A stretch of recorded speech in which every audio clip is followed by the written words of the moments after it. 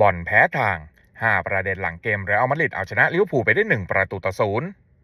ประเด็นที่ 1 ทีมหงแดงลิเวอร์พูลบุกจัดทัพมาแบบเต็มสูบ มาแบบไม่มีอะไรจะเสีย มากันแบบหลังชนฝา ส่งตัวรุกลงมาบู๊ทั้งดิโอโก้โชต้าโมฮัมเหม็ดซาลาโคดี้กักโป และดาร์วินนูนเญซ มากันครบทั้งในแดนหน้า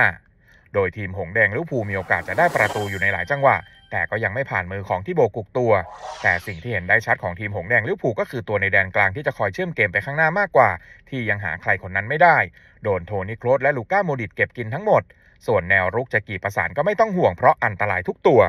ประเด็นที่ 2 เกมนี้เห็นได้ชัดว่าทีมลิเวอร์พูลมาด้วยความมุ่งมั่นจริง ๆ ทั้งโค้ชและนักเตะรู้ทั้งรู้ว่าการจะเอาประตูคืนถึง 3 ลูกไม่ใช่งานง่ายอย่างแน่นอน ถ้าสังเกตจะเห็นกล้องจับไปที่เจอร์เก้นคล็อปป์ยืนปรบมือให้ลูกทีมทุกครั้งที่นักเตะของเขาสร้างสรรค์โอกาสทำเกมบุกขึ้นมาแล้วมีโอกาสลุ้นจบสกอร์ มันเป็นท่าทางที่ไม่ใช่การปรบมือเพื่อกระตุ้น แต่มันคือการส่งใจ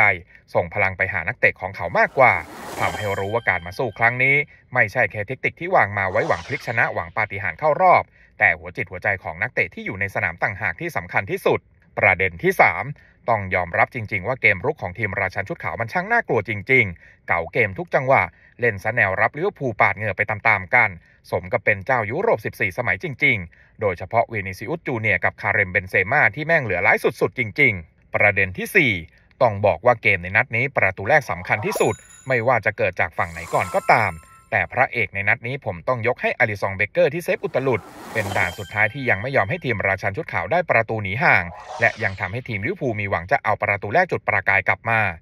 แต่แล้วในนาทีที่ 78 มันก็เกินต้าน เมื่อวินิซิอุสจูเนียร์ตวัดบอลให้คาริมเบนเซม่ายิงเข้าไปเป็นประตูขึ้นนำหนึ่งประตูต่อศูนย์ในเกมนี้ ซึ่งเป็นการตอกย้ำ100%ว่าปาฏิหาริย์ไม่มีจริงแล้ว ประเด็นที่ 5 จบ 90 นาทีปาฏิหาริย์ไม่ได้เกิดขึ้นกับทีมหงแดง แต่เราเชื่อว่าแฟนบอลลิเวอร์พูลทั่วโลกก็คงจะทำใจมาบ้างอยู่แล้ว แต่สิ่งที่เขาอยากเห็นก็คือสปิริตของทีมมากกว่า ผลสกอร์มันคือปลายทาง บางทีมอาจจะถอดใจสู้ตั้งแต่ยังไม่ลงสนามซะด้วยซ้ำซึ่งวันนี้ก็ถือว่านักเตะของลิเวอร์พูลเล่นกันได้ดีมาก สู้ทุกดอกจริง ๆ